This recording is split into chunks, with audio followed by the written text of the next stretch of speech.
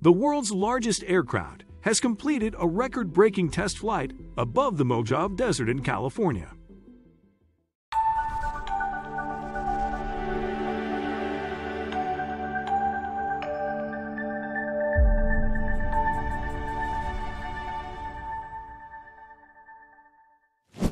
The Stratolaunch Rock Carrier Plane, or ROC, took off from Mojave Air and Spaceport and landed at the same site six hours later at 5 p.m.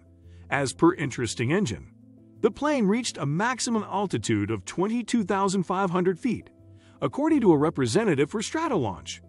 The Independent reported that ROC has a wingspan of 117 meters, which is longer than an American football field. The aircraft to previously hold the longest wingspan was the Antonov An-225 Mriya with 88.4 meters. The aircraft is designed to carry and launch hypersonic vehicles and is capable of lifting around 220 tons.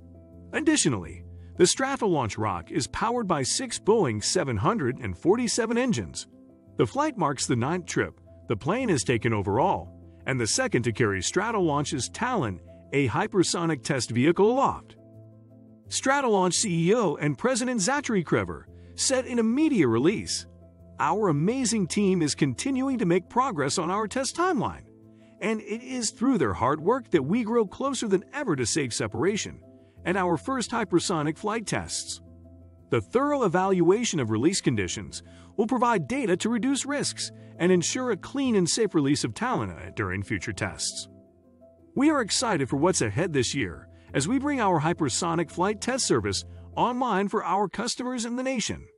Perhaps the monster aircraft will soon be accessible to customers.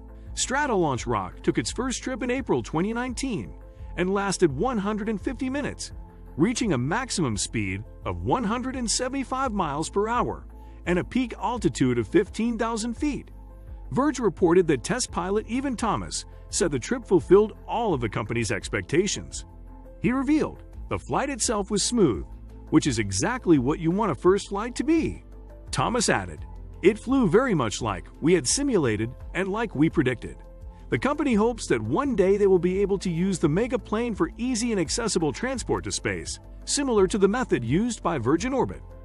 The private space company was launched in 2011 by Microsoft co-founder Paul Allen. It was created to develop a new air-launched space transportation system with its corporate headquarters located in Seattle, Washington. Thank you for watching. Please don't forget to like, subscribe, and share this video with your friends and family.